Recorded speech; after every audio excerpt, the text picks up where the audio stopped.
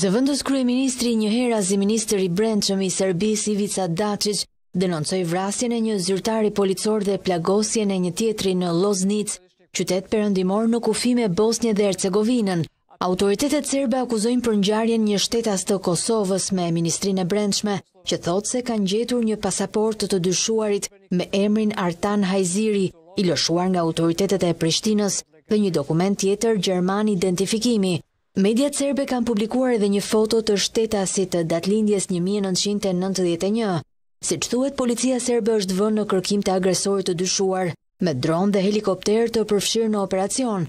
Daçiq pretendon se rasti ka ndodhur rreth orës një të natës, kur zyrtarët policorë teksa kanë qenë duke zhvilluar kontrolle pranë Lipniçki Shor, kanë ndaluar një makinë të llojit Mercedes me targa të Tutinit të Serbisë, në të cilën kanë qenë dy persona.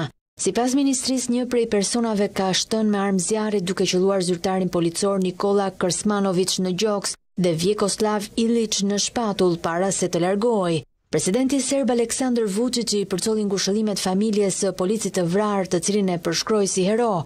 Kryeministri i Kosovës Albin Kurti deklaroi se organet e sigurisë në Kosovë po grumbullojnë informacione, ndërsa bëri thirrje që rasti të mos politizohet. Gjithashtu Ministria e Punëve të Jashtme dhe Diasporës njoftoi se po ndjek nga afër zhvillimet në lidhje me pretendimet e ministrit të Brendshëm Daçiç përmes zyrës ndërlidhëse në Beograd.